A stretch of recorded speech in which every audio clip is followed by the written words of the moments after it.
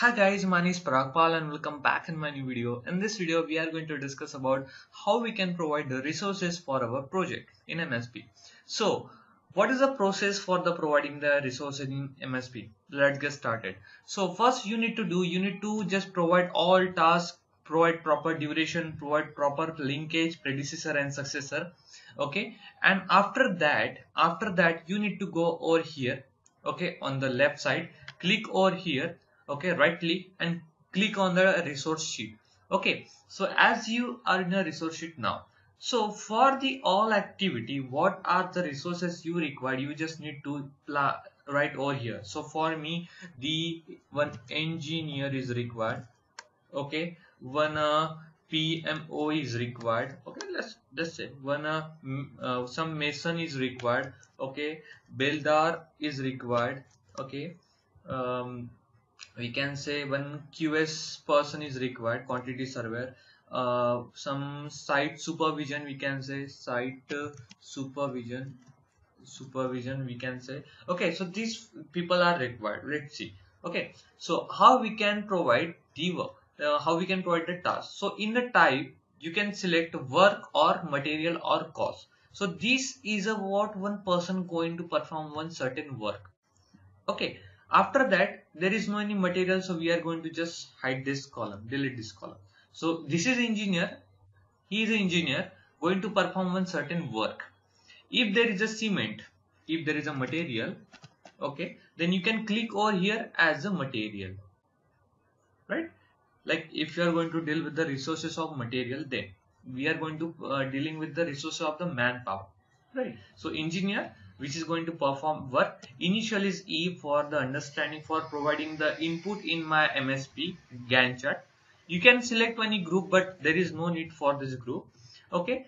Here we need to define the what is the maximum hours they are going to work.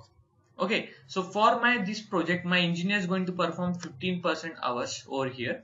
My PMO project management officer going to perform 45 percentage of overall all his schedule okay? Machine is going to pro, going to perform 100% all these people these people you can say qs is going to perform 18% now you can see the rate in dollar but you can change this rate by go to the file okay? Go to the uh, option okay? Then here uh, there is one uh, one cost one cost column. You can in that column you can just change the all your costing. Okay let me see first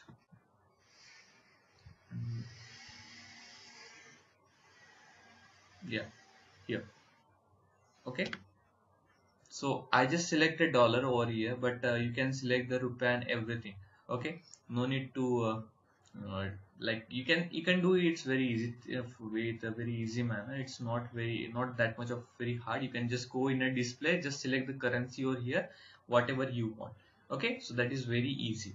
Right? So we have the dollar as a as usual common in MSP so you can just put the cost. So for one hour you need to provide the cost. Okay this is cost for one hour. Okay so I'm going to provide the um, ten dollar let's say. Okay so ten dollar I'm going to provide for engineer for PMO I'm going to provide the nine dollar. Here for mason I'm going to provide 4.5 dollar per hour. Okay it's very big now three three dollars uh, builder uh, 2.5 dollars uh, QS providing uh, uh, five dollars per hour site supervision provide five dollars per hour. Okay so overall cost you can just getting over here. Okay that we can calculate uh, in like whatever this this OVT is nothing but what you can just click over here. The overtime rate okay if they are performing the overtime rate then what is what will be the overtime rate? You can also provide. So we can say for one hour they they will be charged as a three dollar per hours. Okay pmo charge as a 2.5 dollar per hours. Okay mason is charge one we can just provide one one one to everyone. Like if they perform overtime then this amount they will be created.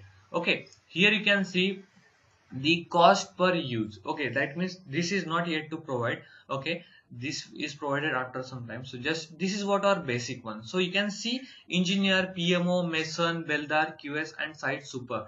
Okay site supervision person. So we provided this much of resources. Now we need to provide these resources. We need to link these resources with our task. Sorry for background noise. Okay so go to here. Go to the Gantt click on Gantt chart. Okay you are here. Just resources name is a, column. If it's not visible over here so just click insert one column and write resource names. Okay so you can get the resources over here but we already have i'm not going to write anywhere. So for excavation i need mason.